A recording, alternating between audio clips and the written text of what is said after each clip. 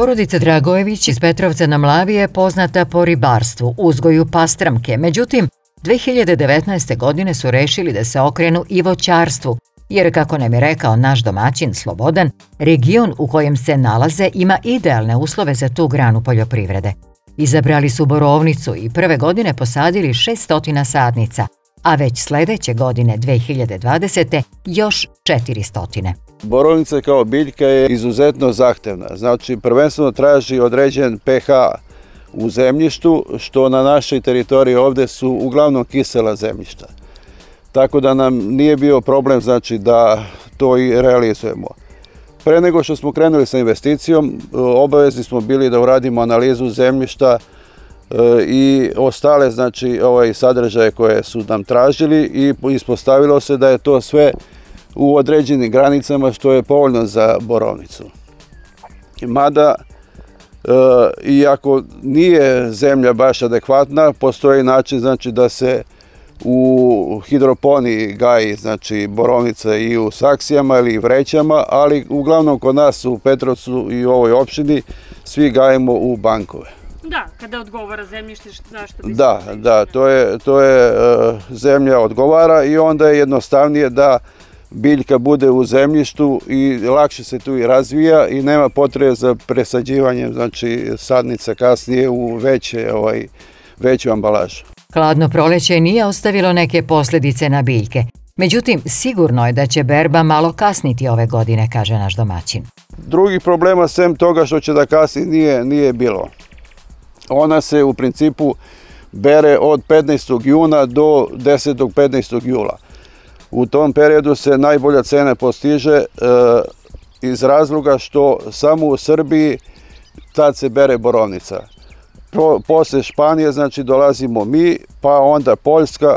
U tom periodu kada se na tržištu nađe borovnica iz Poljske, naglo pada cena koja je najpovoljnija, znači u tom periodu od 15. juna do 15. jula. Godina bit će izvanredna, samo što kasnije će sigurno desetinu dana, ali nadamo se da isto tako i u, i u Poljskoj kasni zbog vremenskih prilika i da ćemo da e, i dalje budemo ti koji plasiramo dobru borovnicu i sa dobrim, dobrom cenom se nadamo.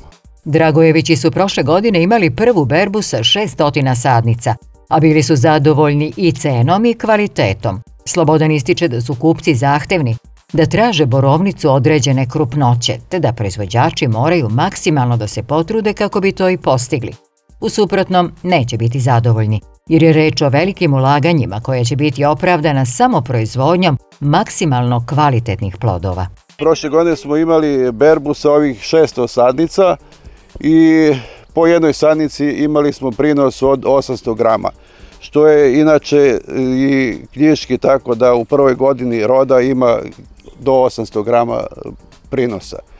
U ovom periodu sad, znači ove godine nadamo se do kilogram i pol po sadnici, što je za, za uh, ovaj period i realan. Svake godine do sada kreće se znači 6 evra pa naniže, znači kako odmiče berba, cena pada, ali u proseku može da se nadamo na 5 evra po kilogramu time biste bili zadovoljni? Da, u svakom slučaju. Kvalitet je, je bitan. E, kvalitet znači da bude zrela borovnica, slatkoća se traži znači da bude lepog ukusa i veličina od 14 plus, to je prva klasa.